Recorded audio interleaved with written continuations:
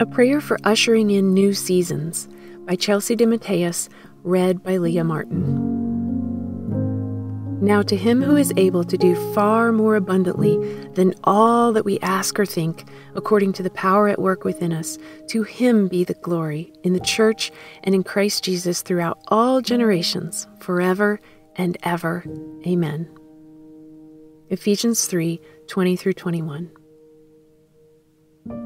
Isn't it interesting how, at the end of every calendar year, most people excitingly invite in the next season?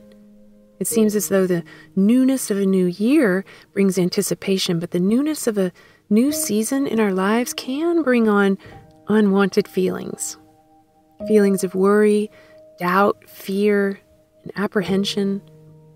The apprehension of what will change, fear for what will no longer be and worry about what's to come with the new set of circumstances that stands before us. As I'm entering a new season of life, I've been in deep conversation and prayer with the Lord. What if you, me, and all believers around the world ushered in new beginnings with hearts full of wonder and trust in the Lord?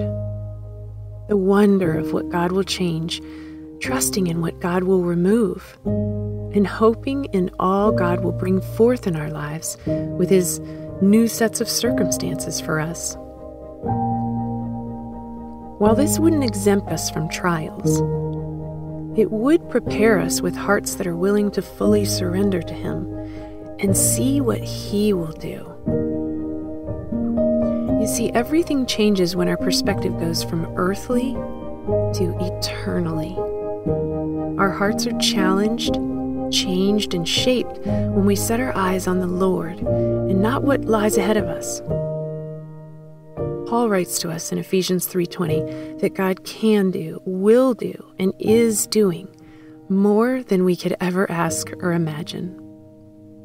God is doing things that bring him and his church glory. While there's much mystery in that passage, we find a powerful promise a promise that we must cling to as we navigate our time here on earth. If the Lord promises us He'll do more than we could ever ask or imagine, we need to believe Him. I deeply believe that within this promise, we should be ushering in new seasons with great anticipation of what God is going to do.